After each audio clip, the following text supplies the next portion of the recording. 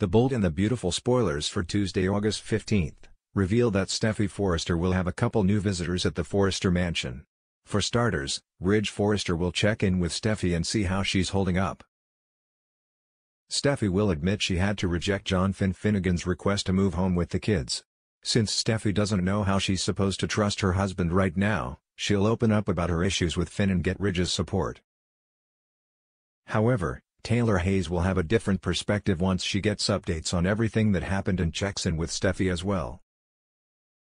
Although Taylor will understand why Steffy was so upset, she won't want her daughter to give up on her marriage too soon.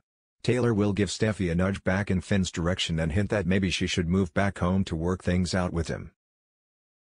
Of course, Taylor may also worry that Liam Spencer is on the rebound, the timing of Liam professing his love for Steffy may concern Taylor since Liam just signed divorce papers along with Hope Logan. Taylor may argue that Finn deserves a chance to prove he's serious about keeping Sheila Carter away, but Steffy won't think she can risk it at this point. Other BB spoilers say Finn will have some bad news when RJ Forrester visits the Cliff house. After Finn confesses Steffy is refusing to move back in with the children, he'll seek RJ's help pulling off his reunion goal.